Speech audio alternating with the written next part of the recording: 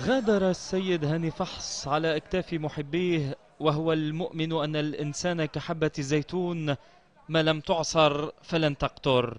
زيت فكره إكسير الحياة.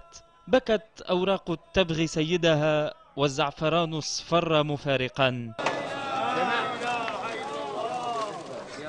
إلى جبشيت في قلب جبل عامل كان الترحال الأخير. في حضن الجبل سيرقد جسده أبدا. وهو الذي عاش يفاعته على كتف الجبل واستمد طباعه من طبيعته. آلاف من رفاقه وتلامذته حضروا لإلقاء السلام الأخير.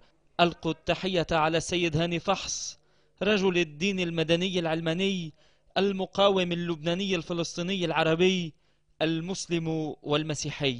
لفوه بعلم فلسطين كما أوصى ولبس التراب الذي أحب. بصمت رحل السيد بعد منادات حالمة بنشوء دولة. آخر صرخاته كانت دبروا لنا دولة رحل والدولة راحلة ولم يترك إلا بلدانا تحترق ونيرانا تلتهم وبقعا ليس فيها سوى مصائر سوداء سوادها ليس كعمامتك يا سيد